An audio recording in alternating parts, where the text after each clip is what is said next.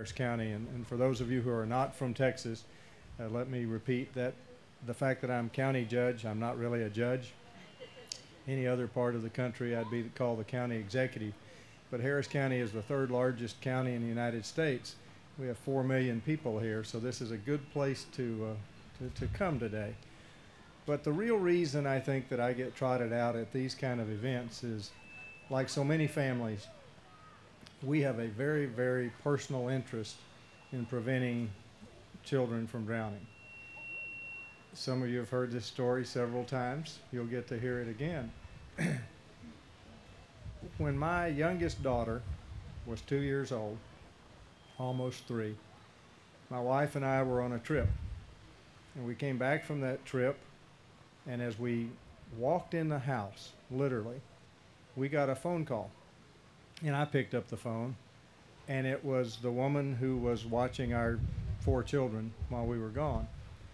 And I'll never forget her words. She said, Mr. Emmett, your daughter just drowned. Now, fortunately, she didn't use the right word. She had not drowned, but she had nearly drowned. And she was in intensive care.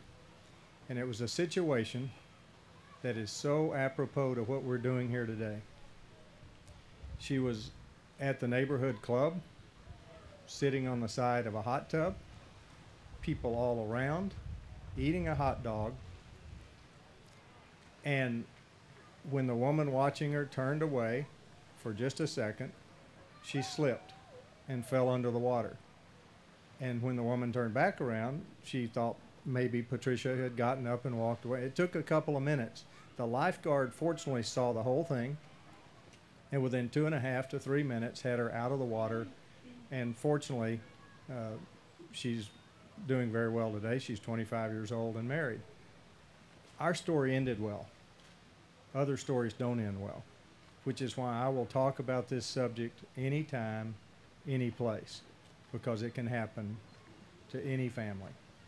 And if we can prevent these from happening, that's what we need to be doing.